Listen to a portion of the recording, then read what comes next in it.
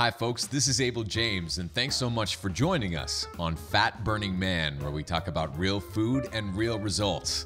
Today, we have a special throwback interview with Dr. William Davis, best selling author of Wheat Belly.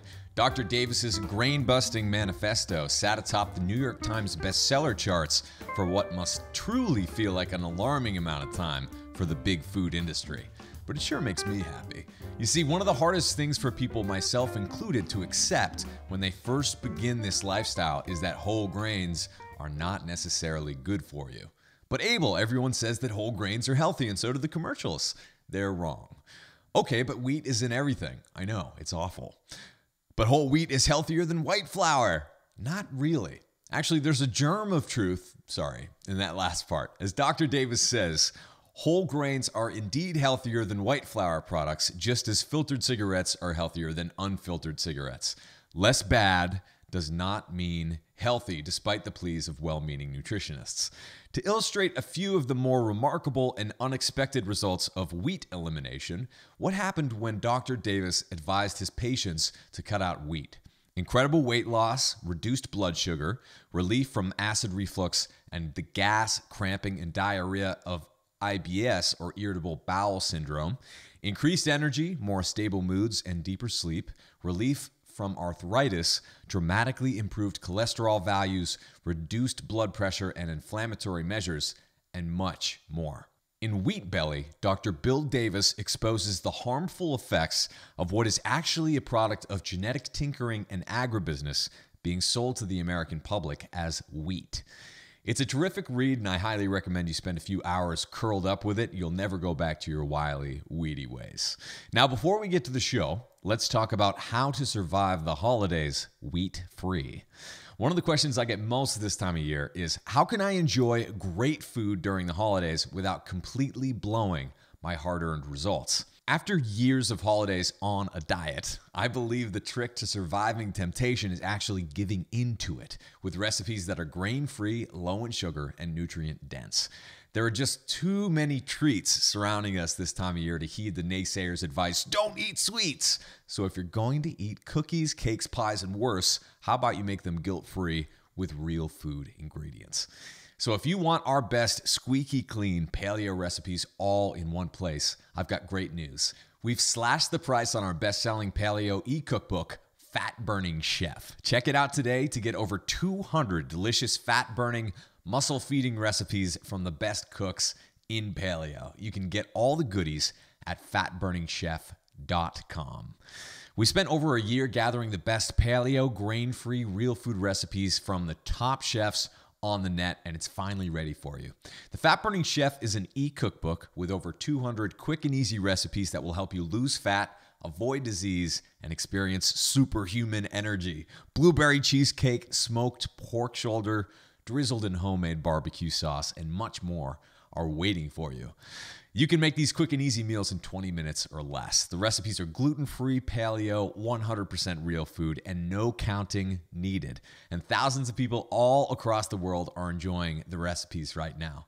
Laura says, just made Fat Burning Man's BLT salad, and I think I'm in love.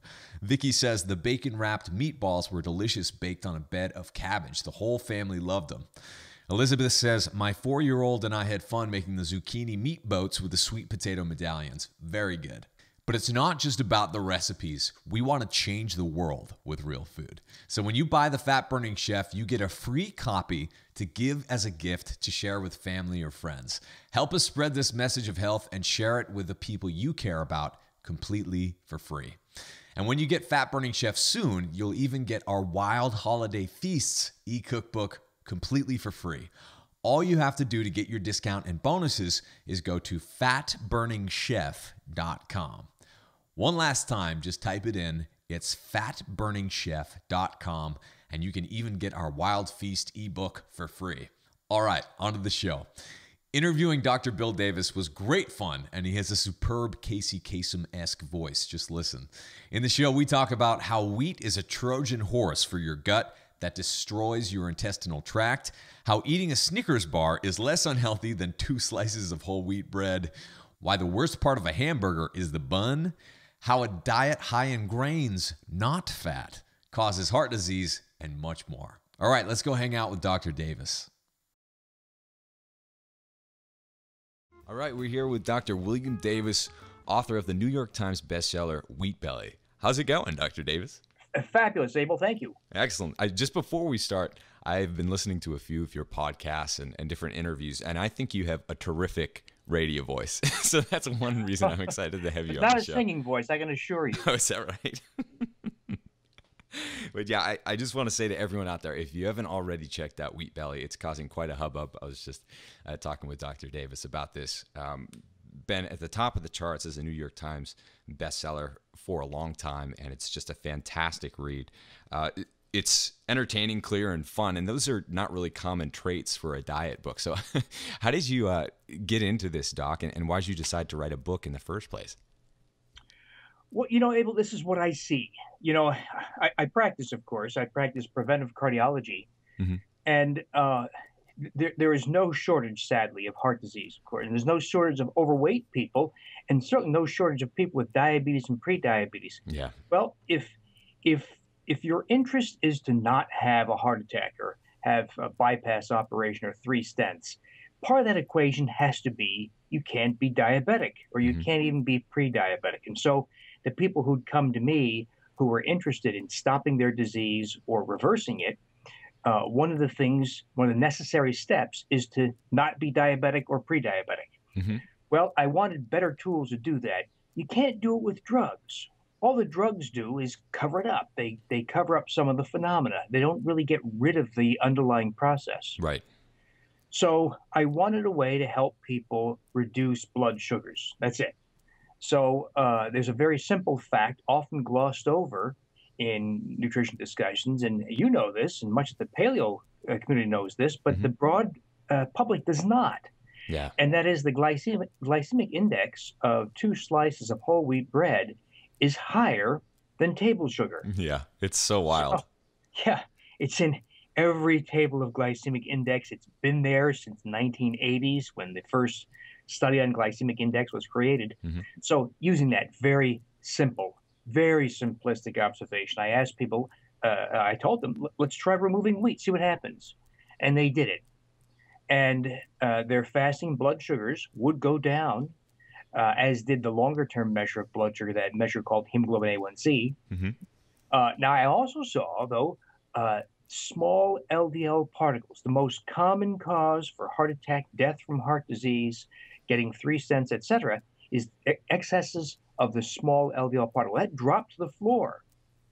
And then people started telling me even more stories like, I lost 30 pounds in three months. Yeah. Or my dandruff is gone. My sleep is deeper. My acid reflux, I've been taking Prilosec, Protonix, and uh, Aciphex and Pepcid and all those drugs for 10 years. It disappeared. I stopped my drugs. It didn't come back. My leg swelling went away. My rash. In other words, I started hearing all these incredible stories. And after I saw in the first few hundred times, Abel, you know, I it started to hit me upside the head. What the heck is going on? yeah, are all these people crazy? well, first I thought it was pure coincidence. Yeah. But you know what was happening to me every day, many times a day. Yeah. You know that really got me thinking and I started to do this in everybody. Uh, and that's when I saw this taken to a larger scale. And now that I've taken this to many thousands of people, both in the office, uh, online uh, experiences, the book, of course, and, and you see uh, not improvement in health, Abel, but life transformation. Yeah. I don't think that's a stretch to say that when people are off five drugs, are no longer diabetic, feel better than they have in 20 years. Mm-hmm. So I, I, really just kind of stumbled on this. It's pretty amazing stuff. And then you personally, um, you write, I think I read it on your blog that you were once an enthusiastic consumer of healthy whole grains, right? So tell us about your personal experience of the journey of eliminating grains. Yeah, at, at the risk of great personal embarrassment. um, this is 20 some years ago. I was actually in Atlanta and I was attending the American College of Cardiology meetings. Mm-hmm. And this was a time, Abel, when all I, I was I was young, and I, all I wanted to do was this fancy. This was the Wild West age of heart procedures. Yeah. And angioplasty uh, was just getting underway. We were carving out and, and drilling out plaque. This is all even before stents. Mhm.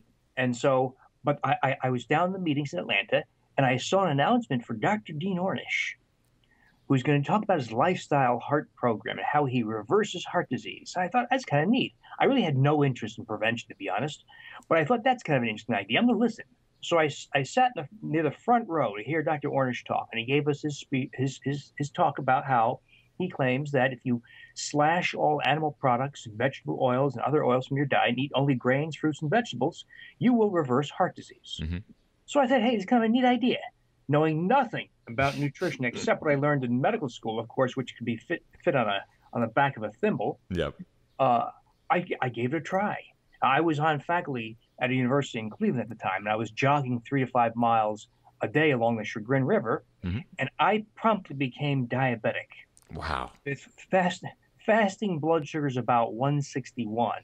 Uh, I had a mess of a, a metabolic pattern. My triglycerides went to 350, My and gosh. HDL went to 27.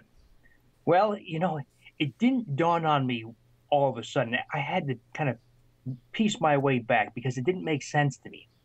Uh, uh, but it became clear over time the problem was the diet, of course, the Mhm. grains in particular. You cannot live without oils. You cannot live on a grain based diet. It is a perversion of human physiology, as you know. So, I like that quote right there. That's a soundbite. well, thankfully, I'm no longer diabetic. Yeah. I have a fasting glucose of 84 and a hemoglobin A1C of 4.8%. Wow. Uh, I'm not as fit as many of your listeners. Um, I'm, I'm in my mid 50s, but um, uh, I'm not diabetic, not even pre diabetic, and I do nothing in the way of drugs. This is just Mhm. with diet, and vitamin D helps, and fish oil helps a little bit uh, in that regard, Mhm. uh, but doing none of the darn drugs that are booming, as you know. You know, we, we're at the tail end of a recession, but the diabetes drug industry, Abel, has been enjoying double digit growth all through the recession. Hmm. So, uh, anyway, uh, so that that's how I learned my lesson personally. Yeah. Well, I'm, I'm glad you're on the right track now and helping spread the word. Now, you refer to the recommendation of cutting fat and eating more uh, healthy whole grains, and I'm doing air quotes right now, as the largest dietary blunder ever made on an international scale. so, can can you explain why that's the case? Well, you know, this all starts, of course, back in the 60s when there was a tremendous push by the US government, other governments, universities, foundations, because of the there was there was great fear that we would have a population explosion and we would literally have billions of people by the turn of the century starving. Mhm.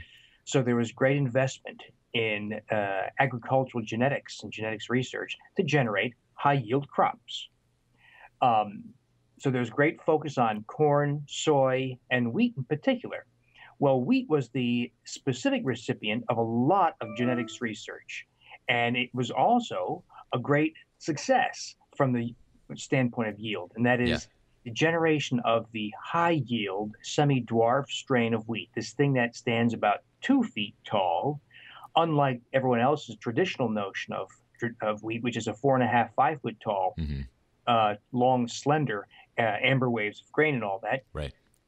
But the semi dwarf, high yield strain that stands two feet high was the brainchild then of this genetics uh, research. It was so incredibly productive that once farmers saw the tenfold increase in yield per acre, they rapidly embraced it. So it was introduced into the US in the late 70s. So it was actually introduced into the third world before the US because they were starving, of course, Mhm. and it turned famine into surplus within a year of its introduction. So this was hailed as a great success.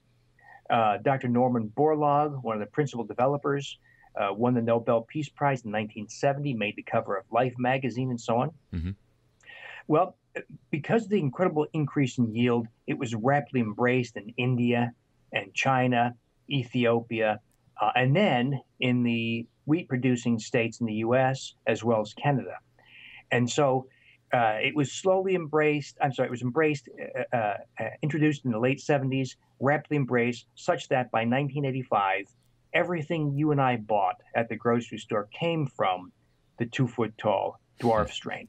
So we Wow. have, in effect, exported uh, the semi dwarf strain of wheat invented by American geneticists uh, to virtually all other countries of the world. So it's you can find the older strains of wheat that our moms had or that were present in the, in the 19th century, Mhm. but for all practical purposes, all wheat sold today, whether it's here, Canada, the UK, Australia, Asia, comes from the two foot tall brainchild of genetics research. Yeah.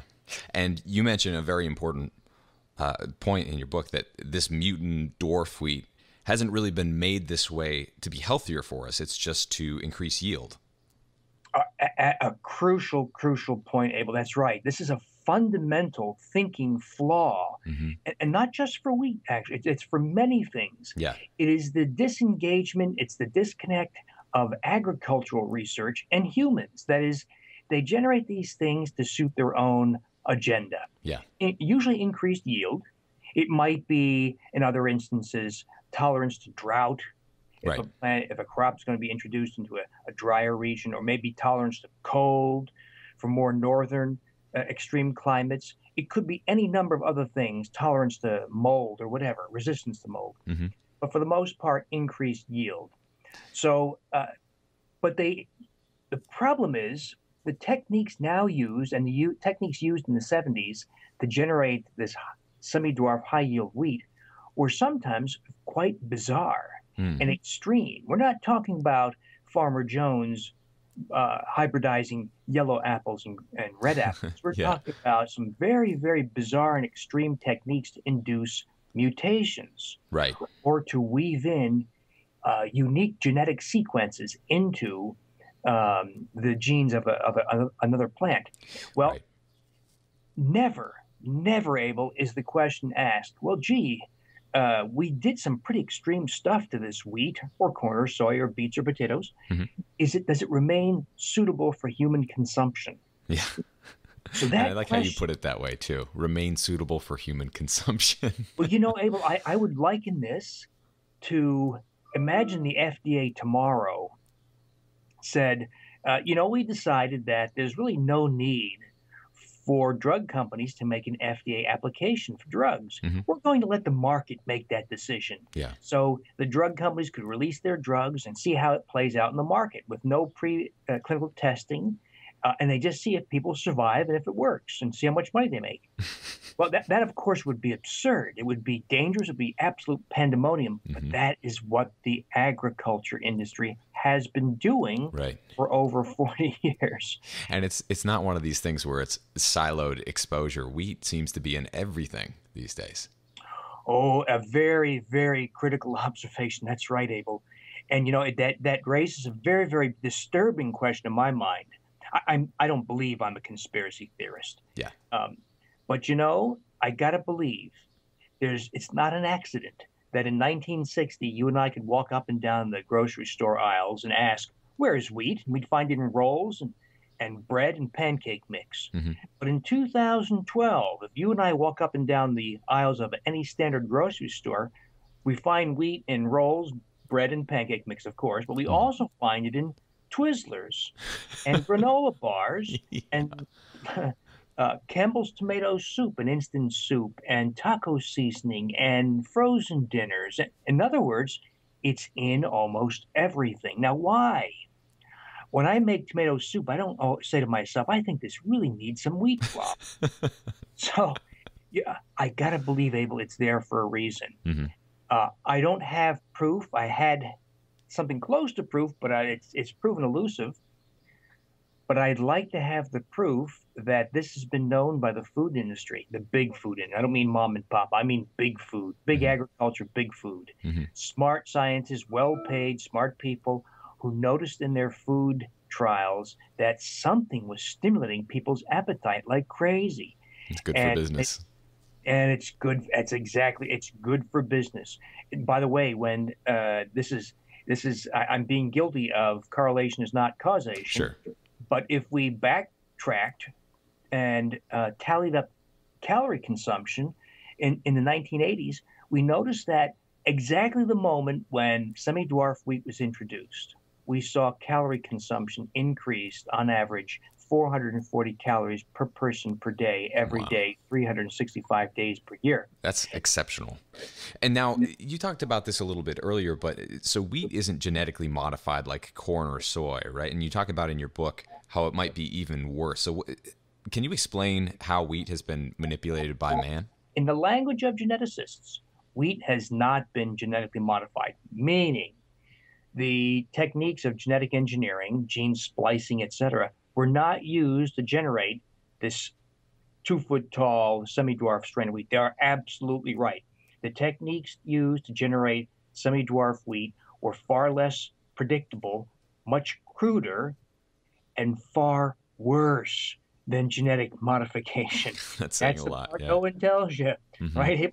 That the techniques used were far worse and unpredictable. You cannot control, for instance, what mutations you induce with gamma ray radiation Yeah. of the seeds or embryos, or high dose X ray, or what's called chemical mutagenesis.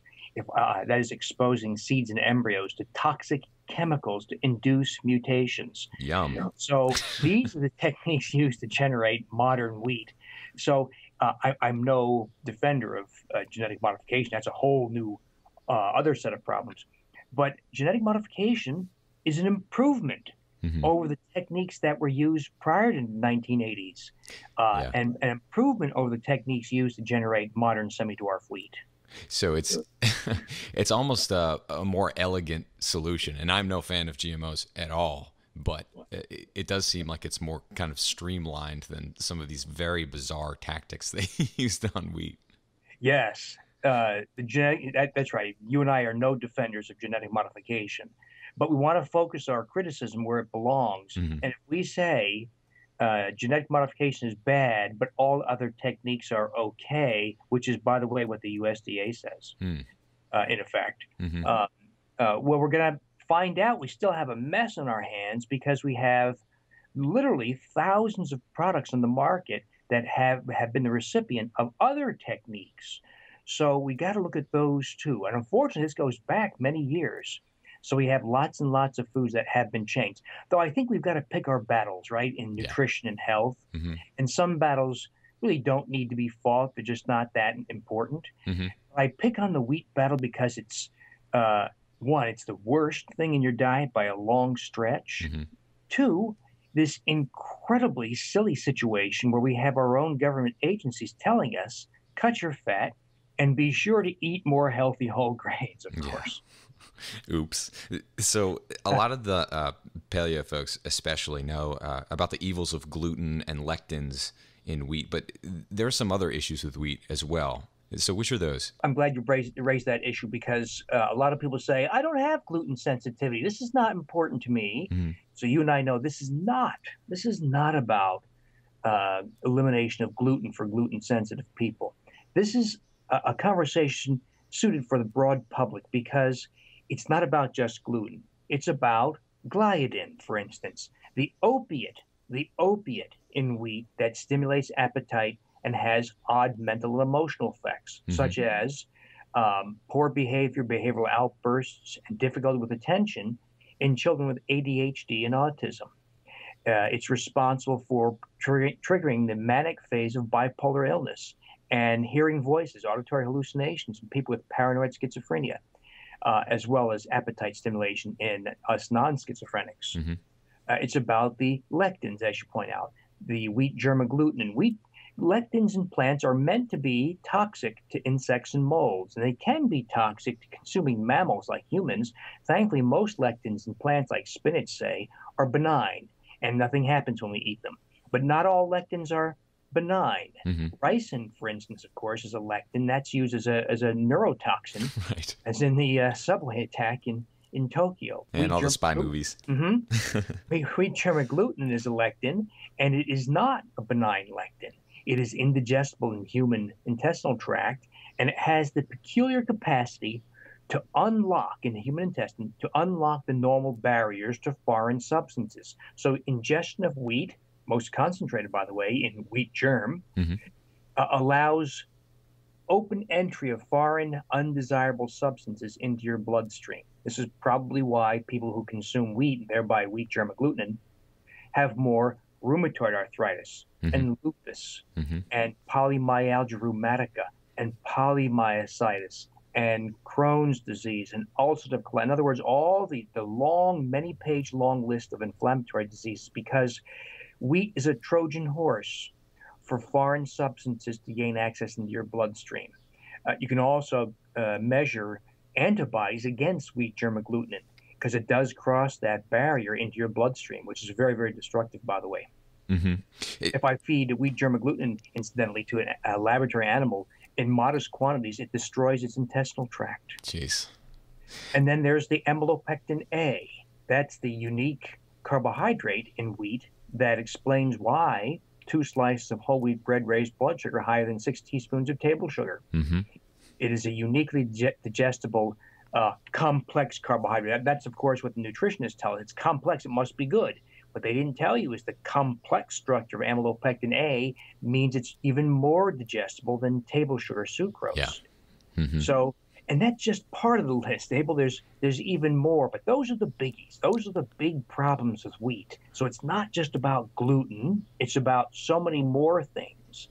Uh, and so, but we don't want to say this is a conversation suited for the gluten sensitive Mhm. and they should eliminate gluten. This is a conversation suited to all human beings because Right. this stuff has no business in the human diet. Yeah, but at least there is a growing awareness about gluten, and uh, to that uh, to that point, so why is celiac disease expanding so quickly?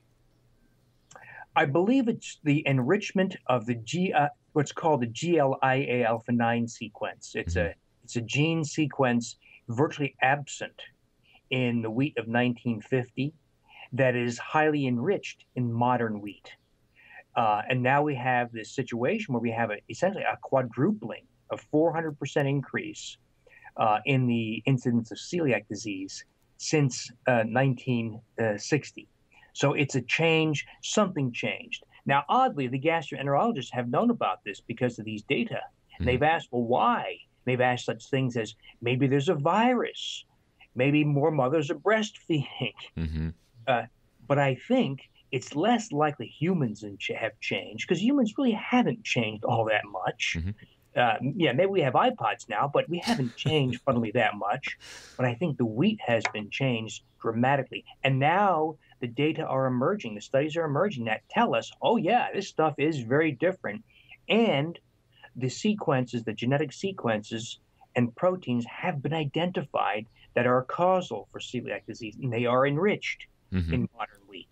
So it's time to retire the expression "the greatest thing since sliced bread." I suppose. Oh, suppose. yes, that's right. no, uh, so why is whole wheat though, um, and, and other grains for that matter, assumed to be God's gift to man? Everyone raves about them. Yeah, you know, there's, I, I think there's a, a list of reasons, but I think one fundamental, one basic reason is this. You know, very few sciences are guilty of such fuzzy thinking as nutrition. And and one of the flawed sequences of logic that you'll find over and over again in nutrition is is this. If you take something bad in diet and you replace it with something less bad Yeah. and there's an apparent health benefit, a whole bunch of the less bad thing must be good for you. so I draw this parallel. What if I told you unfiltered Tareyton cigarettes are bad for you, but filtered Salem cigarettes are less bad for you? By the logic of nutrition, you and I should smoke a lot of Salem cigarettes. Right. That, of course, is, is absurd. but that is the logic used by, in, in virtually all studies, uh, the epidemiologic studies that prove uh, that whole grains are better because whole grains uh, generate less cancer, less heart disease, less hypertension, and less diabetes as compared to white processed flour products. hmm So the unavoidable conclusion in the in the logic of nutritionists is you must have more healthy whole grains. hmm Uh, of course, the next sequ- sequence in that logic should be well, what's the effect of no healthy whole grains? That's where the magic starts. That's where you start to see all these incredible effects. I, I call this Abel the two plus two equals 11 effect Hmm. that applies to wheat. And that is, you know, we know about lectins.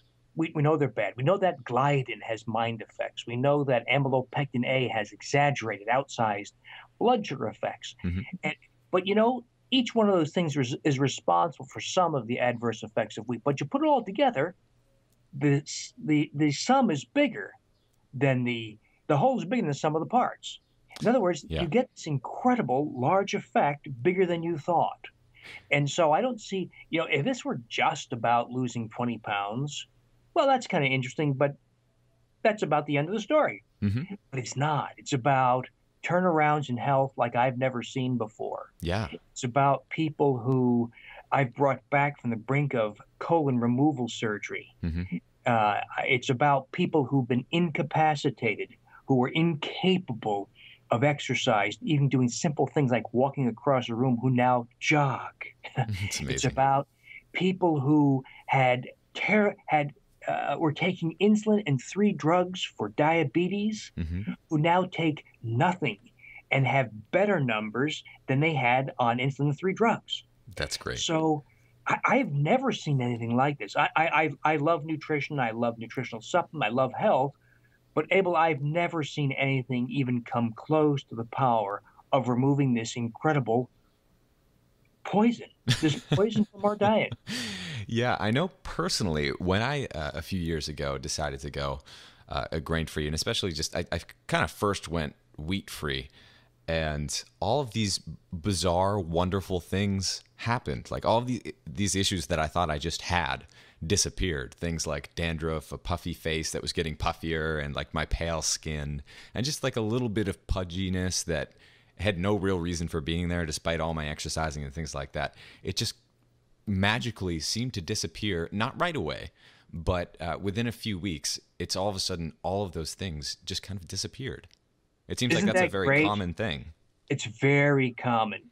But you know, it raises the question why? Why would a young, healthy, fit guy have all those changes. You know, the skin is a large, large organ, mm. and it, and things t- tend not to happen to the skin in isolation. In other words, if there's something funny going on in the skin, it's probably going on elsewhere too. Mm-hmm. Maybe it's going on in the gastrointestinal tract and liver and maybe the airways of the lungs and sinuses and maybe the brain. So just those surface changes to me, even though they might just be skin changes. Mm-hmm. Tell me there's probably a whole lot more going on. Is that lectin? Is that the wheat germ agglutinin causing the entry of foreign substances and causing inflammation? Yeah. Is it the peculiar water retaining effect of wheat? Mm-hmm. I don't know exactly how each and every one of these effects is caused because a lot of it hasn't been yet explored, mm-hmm. but it's very consistent to have your experience. That is, you remove wheat, puffiness in the face goes away, puffiness in the legs, uh, there's a great deal of water loss. I've got people who I met in heart failure, Abel, heart wow. failure, which is Jeez. a very bad condition, who yeah. came out of it, came out of it uh, with elimination of wheat. Not to say all heart failure, of course, is caused by wheat. Sure. But I like I like elimination of wheat a lot better than taking nasty diuretics. Mm-hmm. Absolutely, and a lot of people who start following the uh, the diet that I advocate, my clients will say, um, "I don't get cold sores anymore," or "There are no more kidney stones and other things that you know they may have been taking drugs for just also kind of disappear. And you've been with hundreds and hundreds of your own patients who have been cured from some pretty dramatic things. So uh, what are some of the examples of that? You, you talked about a few but i'm sure you have more. Yeah you know the uh, uh, let me let me tell your listeners about the the case that really I, I finally put my foot down when I when this happened to me um, because it was such a dramatic case, and it proved to me it was it was not the first case, of course. It was one among many. But to me, I, I, I made me say, all right, that's it. I've got to write this book and tell this story more broadly. Uh, we need more information, but this is such a powerful um, observation. It has to be told to a broader audience. That was the 38 year old school teacher who I had met because she had uh, palpitations. That is, this sensation of an irregular heartbeat. It turned mm-hmm. out to be nothing. But nonetheless, she told me her story that she had ulcerative colitis for 12 years and was incapacitated by pain as well as diarrhea and hemorrhage. So she had it so badly, she would have bloody stools. Mm-hmm. And she'd have to go in about every three months for a transfusion. That's how bad it was. So she's on three drugs, including a very expensive intravenous drug. Uh, she's got two little kids, teaches, I believe it was fourth or fifth grade. Uh, well, she comes in one day and tells me they scheduled her for colon removal surgery, and they're going to give her an ileostomy bag, like, like, a colostomy bag. Mm-hmm. So, a young woman with a bag that, affixed to her skin that catches the stool on the surface. Uh, she's a school teacher, age 38. And I just, oh man. So I told her, you know, you've got it. You've got to try eliminating the wheat. I mm-hmm. see people with multiple gastrointestinal problems get better. She says, Well, they, they already biopsied me twice. I don't have celiac disease. They ran the blood test. I don't have celiac disease. And I said, I, I know you don't have celiac disease, but you are consuming wheat. Mm-hmm. You've got nothing to lose. They're going to take your colon out. So she kind of sighs and decides to give it a try. What the heck? She comes back uh, about three months later uh, no ileostomy bag, by the way. Hmm. she told me that within three days, all the cramps and diarrhea had subsided, had stopped. Uh, five days, bleeding had stopped. Uh, she stopped one drug. Uh, some months passed, everything has stopped. Off another. Anyway, two years passed. Uh, she is cured, Abel. She's not better. She's cured. She's on none of the drugs. She lost 38 pounds, too, by the way. Um, she uh, has no cramps, no diarrhea, normal bowel movements. Um, uh, of course, they canceled her surgery. She didn't get better. She was cured. That's and when amazing. I started seeing things like that, and that's just one very dramatic, but w- one among many cases, mm-hmm. I realized this is not just about losing 10 pounds. Yeah. yeah. This is about a, a, a head to toe, a head to toe destruction of health. That it, so it, it raises a concerning thing, a concerning question. That is, how much of what we do in healthcare, I'm in healthcare, mm-hmm. how much of what we do in treating hypertension, high cholesterol, fluid retention, heart failure, diabetes, rheumatoid arthritis, lupus, migraine headaches, are we just treating diet, but more specifically treating the perverse products of agribusiness? Mm. And I think we are. I think we're treating to a large degree, we are treating the unintended side effects of consuming crops and foods that have been changed with no questions asked about its suitability for human consumption. Yeah. yeah. So the 99 cent menu isn't actually that cheap. yes, well said. That's right. and then, it, you know, one thing that's interesting to me is that a lot of people are just like, a hamburger, that's a junk food. But the worst part is the bun. not the burger. Yeah, that and the pink slime. That's right. that's right. Yeah. now, lots of people have made a convincing case, and there's a lot of research uh, that points to this fact that switching to a grain based diet or, or, starting to incorporate a large amount of grains caused humans to become shorter, fatter, and sicker thousands of years ago. Uh, so, can you comment on that a little bit? What, what happened when we started relying on grains? Yeah, great point. Because uh, you know this question is coming up a lot now. I'm very grateful mm-hmm. that well, gee, if the problems really started in the 1960s and 70s when the geneticists fiddled with wheat, what if we go back to the wheat of 1950, or even the 19th century, or even the Bible? Well, I remind everybody that yeah, that's true. If if we go back in time and we go to the wheat of 1950 or the 19th century, like the red fife strain grown throughout Canada and U.S. back then, mm-hmm. or the emmer wheat of the Bible, the 28 chromosome form of wheat. Our current wheat's 42 chromosomes, by the way. Mm-hmm. Uh, or we go back to the original ancestor of wheat, which is einkorn, uh, a 14 chromosome plant. Each step of the way, wheat becomes increasingly more benign. But does it ever become entirely safe? Mm-hmm. I don't think it does. And mm-hmm. so you make the point, perfect point, that when hunter gatherer humans, humans who would hunt down animals, antelope, ibex, spearfish, wild boar, and gather wild garlic and figs and dates and um, uh, leaves and berries and grubs and insects.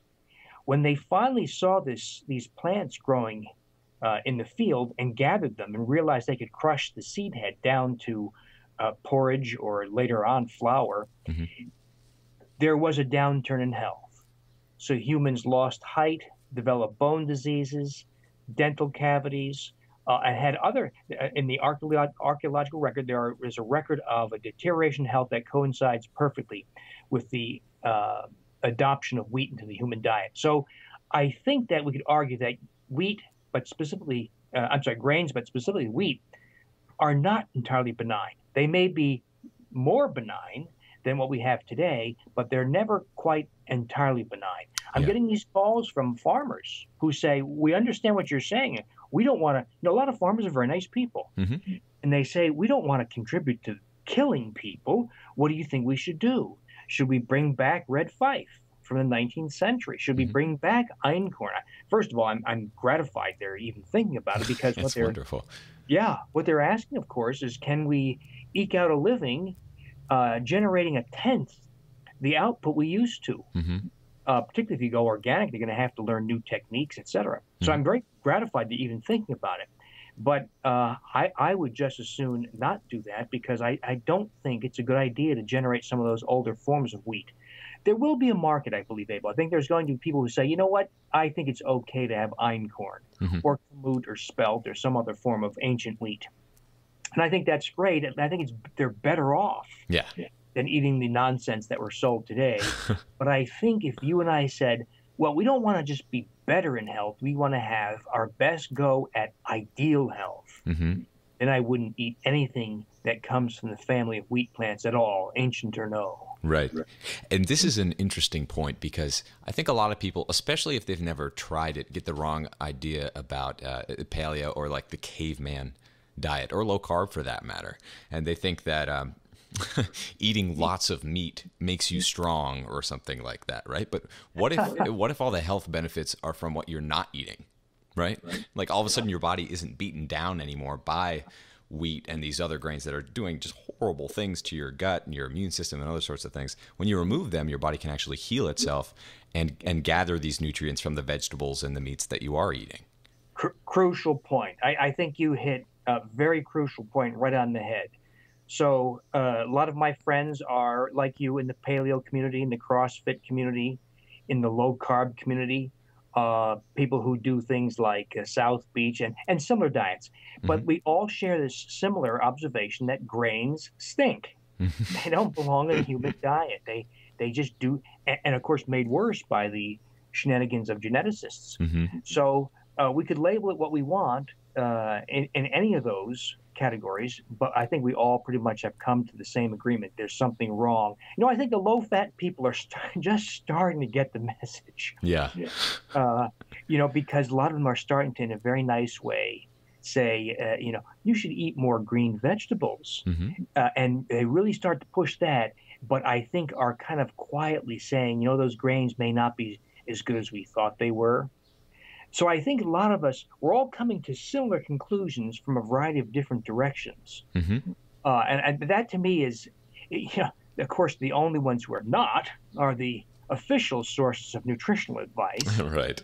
So I don't believe in your life, and certainly not in my lifetime, and I don't believe in yours, that we'll ever have a USDA, for instance, or a U.S. Department of Health and Human Services who will come out and say, you know all that stuff we told you? Sorry. Not only was it wrong, but we actually caused this the world's worst epidemic of obesity diabetes ever seen in the history of mankind on earth. Mhm. So we take it all back. And so, what about the people who who, I guess, responsibly consume grains by soaking and and fermenting them? What would you say to those folks? Well, I, I think I'd go right back and say it's it's like putting that filter on your cigarette, right? Mhm. Yeah, it might be a hair better. So if we sourdough ferment it, or if we soak the seeds and let it sprout, and thereby reduce the amylopectin A content by a few percent, we still have the same fundamentally flawed thing. That is this thing filled with wheat germ agglutinin and the gliadin protein. So you cannot change this thing Mhm. uh, enough to make it safe. If you take out all the badness in wheat, you'll have nothing left. You'll have some fiber uh, because there, you know, Abel. I don't believe this was a conspiracy to screw us over. I don't think there's, but I, you know, if if there were two evil scientists somewhere who sat down and said, you know, let's make the worst possible thing for humans to consume that will destroy health, make them fat and diabetic, give them cataracts, arthritis, destroy their bowel health, give them acne and dandruff, Mhm. it would be wheat. Yeah. And It it's is so- a perfectly crafted poison. It's funny because uh, so many, well, it's tragic actually that so many people, uh, the average American, uh, say you put in front of them two slices of whole wheat bread or a Snickers bar. it's it's less bad to go after the Snickers bar. That's right. Both are bad, of course. We should qualify, right. right? So you and I are not advocating Snickers bars, but uh, but so that's right. The national advice to eat more healthy whole grains. They might as well say go out eat more candy bars, mm-hmm. and it would so be bizarre. better. Yeah. Now I have a few questions for you as a cardiologist. Uh, I have a bunch of listeners who've asked about heart disease specifically, uh, especially in the context of a high fat diet. Uh, and they have lots of warnings coming from all directions. What do you say to those folks um, who do choose to go, say, low carb or, or controlled carb and have to eat more fat? Well, grains cause heart disease. Mm-hmm. Uh, that that's becoming clearer and clearer. And saturated fat has nothing to do with heart disease. That's also becoming clearer and clearer.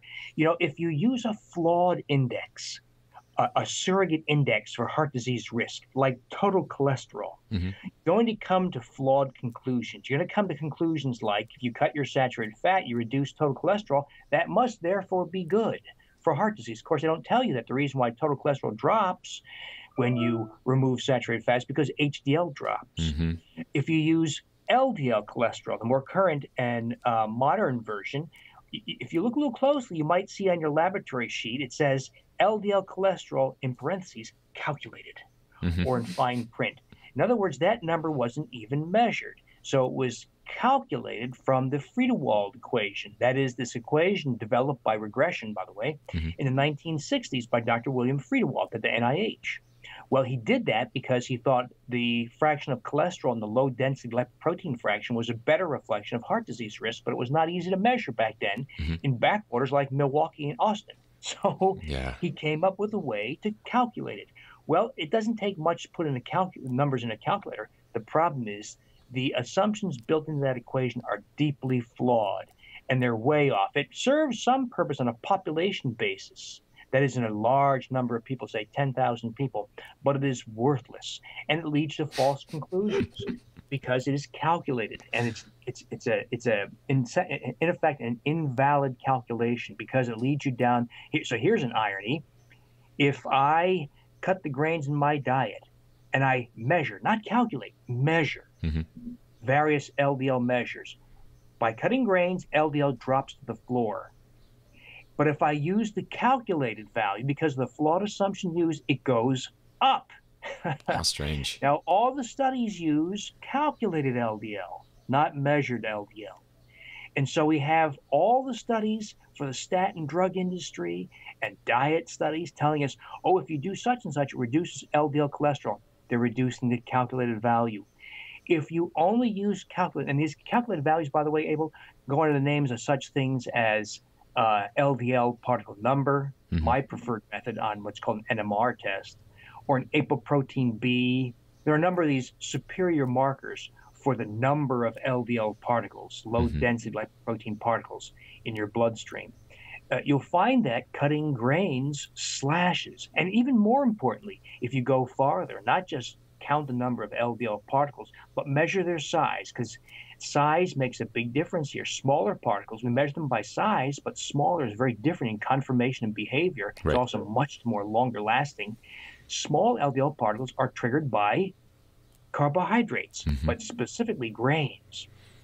Hmm. And you cut grains, you see the worst particle of all, small LDL particles, drop to the floor. Right. You don't see 10% drop. You don't see 15, you see 80, 90, 100% drops in because that's what I do every day in practice because yeah. the small LDL particle, of course, is the number one cause for heart disease in the US today because of the absurd advice to cut your fat, eat more healthy whole grains. When I meet people just starting out on their heart disease reversing adventure, they all have tons and tons of small LDL particles because they've all been following this nonsense to cut their fat, eat more healthy whole grains. You take the grains out, they lose weight, their blood sugar drops, their leg edema goes away, their dandruff disappears, their acne goes away, and small LDL drops to the floor. Wow. wow. So there's the answer, folks.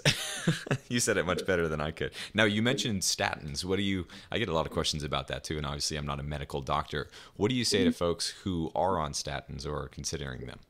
Well, my view, Abel, is that treating this calculated LDL is malpractice. Mm. That is, it is such a flawed, absurd number. You cannot use this number to make any decisions. And so, can, resigning somebody, this is what's done in practice, of course, resigning somebody to 5, 10, 20, 30, 40 years of a statin drug at lots of cost and side effects for a fictitious number. Mm-hmm. So this is this is a fiction not too far uh, worse than uh, eat more healthy whole grains. And of course, those two go hand in hand, don't they? Yeah. Eating grains, right, gives you the appearance of a better cholesterol panel. mm-hmm.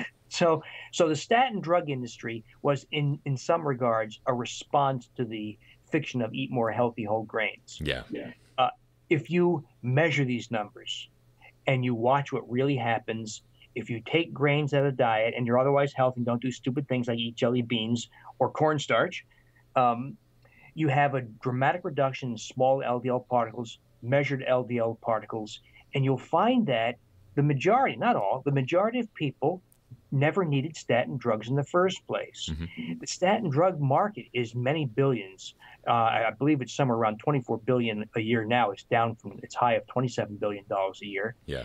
Uh, you know, I think there's a need for those drugs in certain genetic disorders, but I don't think the need is even more than a billion dollars. It's a tiny fraction of the current market. There are conditions, I won't bore you and your listeners, but there are conditions like uh, heterozygous hypercholesterolemia, and familial combined hyperlipidemias. There are complex genetic patterns, ApoB variants, ApoC variants, etc., that uh, don't sadly do not respond fully to diet, mm-hmm. and those people can have pretty serious problems. But these are genetic defects. This is not John Q. Public who's got a high cholesterol. This is people with very very substantial uh, gene pro- genetically determined problems, and I think there's a l- very limited role for statin drugs in those populations. The problem is John Q. Primary Care, or for that matter, John Q. Cardiologist, makes no effort to distinguish who's got it on a genetic basis, mm-hmm. who's got it just because they eat uh, fat or appear to have high cholesterol. Right. So uh, that's what. So these drugs are handed out indiscriminately, uh, and now, of course, we have this silliness about putting it in the water, and everyone yeah. should on it regardless of their cholesterol value. No, there are far more better way, far better ways because that's what I do. I try to eliminate risk or reverse measures of coronary atherosclerosis. And Abel, you can do it. I have a long, long, long list of people who have stopped or even reversed coronary atherosclerosis without statin drugs. Some do require it for those mm-hmm. genetic disorders, but the, the majority nowadays do not need it. But it means following this kind of a diet.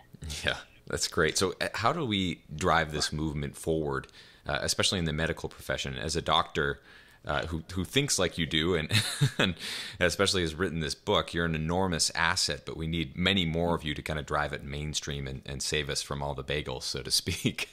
Well, I think it starts with talking to nice people like Abel James. that is, you know, talking to people who have an audience, who mm-hmm. understand what's going on. You know, you and I, Abel, no matter how hard we try, will never be able to go head to head with the Monsantos of the world, with the Merck and Pfizer's of the world. These, and by the way, I should mention that one of the most vigorous supporters for the past 20 years of the healthy whole grain message, as delivered by the wheat lobby and wheat trade groups, has been the diabetes drug manufacturers. so that's kind of a smelly situation. Yeah, imagine that. Uh, but I think it starts with what you and I are doing because last I checked, I don't have eight to nine billion dollars in my marketing budget like Monsanto does to lobby the federal government. That's their uh, annual spending mm-hmm. uh, tally for uh, lobbying the federal government. By the way, and you don't have legions of of lawyers and assassins to send That's right. people. We don't have we don't have those people out in the field looking for the for the uh, farmers who might have some glyphosate resistant corn in their field. Mhm. Uh, so we can't we can't compete with that in in their uh, in their arena. We Mm-hmm. have to fight it in our own terms, our own ground. That's what you and I are doing right now. Uh, and we write books and we talk about it online and we do blogs and social. I, I- so I liken this, Abel. This I think the closest parallel is the Arab Spring. Hmm. It's the people who've been oppressed and given bad information, while Muammar Gaddafi lives in his lavish castle Mhm. and drives 10 limousines. Yeah. So this is what's happened. We are, in effect, rallying social media and similar type tools to fight this oppressive uh, campaign of misinformation. Make no bones, people are making a lot of money from this message. I know one of the former uh, chairs of the U- U.S. Department of Health and Human Services came into office, not very rich, left very wealthy. Hmm. And this was also, by the way, uh, a man who uh, essentially pushed through legislation very favorable to companies like Monsanto. Mhm. So we can all connect the dots. Because Uh, Lord so knows they need more money. money. There's smart money out there making. So it, it, it strikes me, you know, probably smart money behind the fact that the uh, uh, diabetes drug manufacturers have been funding the wheat lobby. Yeah. Now they they were smart 20 years ago, by the way. So we're coming up on time, but I, I have one more question for you, and this is one that I, I think people will appreciate because I, I know I get this a lot, and so do my clients. What's a quick, easy answer for someone, usually a nagging family member or friend, who insists that whole grains are healthy? Well, you and I know, Abel, that some people just don't want the answer, Mhm. particularly because wheat is an opiate. So we're telling these, in effect, cocaine addicts that uh, you got to stop it. So sometimes you just can't get through it. The best thing I think is to set the example. Yeah. If you do it and you lose weight and you feel fabulous and you lose all these health problems and you look like the absolute picture of health, after a while, it might be a few years, they'll Mhm. say, Hey, Abel, what is it you're doing? Because I want to do it too. Yeah, that's that's great advice.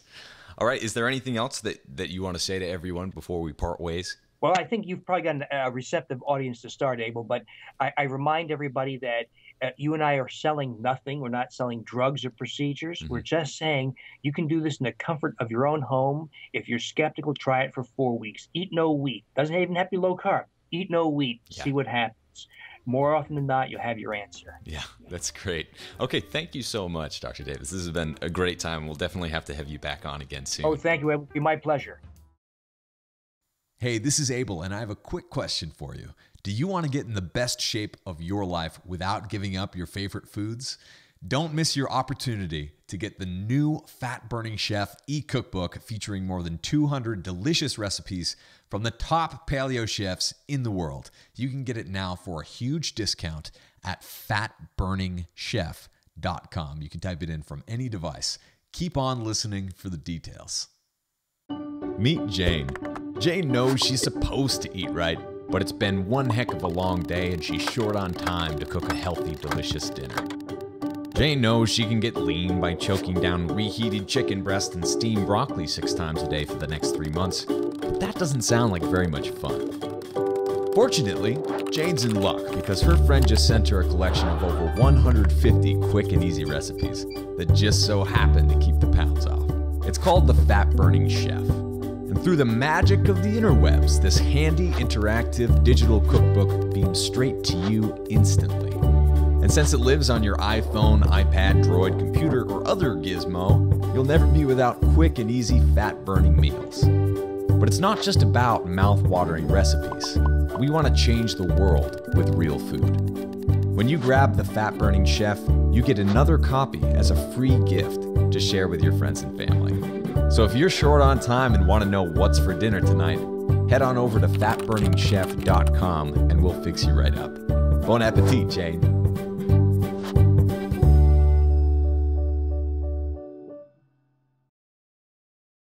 Thank you so much for joining us on this episode of Fat Burning Man. If you liked it, don't forget to hit the subscribe button on iTunes, Stitcher, YouTube, the podcast app, or wherever else you might be listening to or watching this show. Got a second? please leave me a quick review on iTunes. I always love hearing from you, and if you think someone else might like and benefit from this free show, please take a second to share it with a friend or with a family member. You can get in touch with me on Twitter at FatBurnMan and Facebook by typing in Abel James or Fat Burning Man. Drop me a line anytime.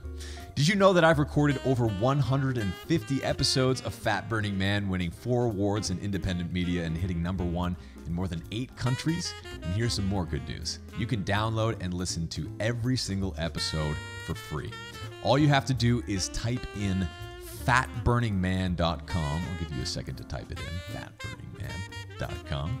And you'll get all the show notes in video and audio versions for all the past episodes of Fat Burning Man. Better yet, enter your best email at fatburningman.com, sign up for my newsletter, and I'll even send you a quick start guide to start burning fat right now and a few of our ridiculously tasty recipes as a special thanks for signing up. Once again, just go to fatburningman.com right now, enter your best email to get your free fat burning download straight to your inbox, and make sure that you never miss a show again. This is Abel James signing off. Thanks so much for listening, and have a great week.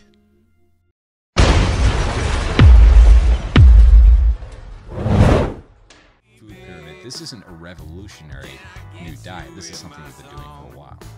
Oh, for sure. I mean, you can even just look at human evolutionary history and what we are eating up, not even up to 10,000 years ago. You know, the paleo approach tends to look at foods, or, you know, the standard definition of paleo.